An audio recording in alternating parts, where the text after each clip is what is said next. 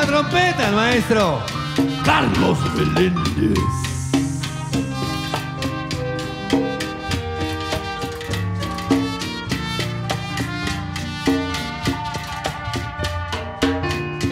Y en el piano, el maestro Toño Torres.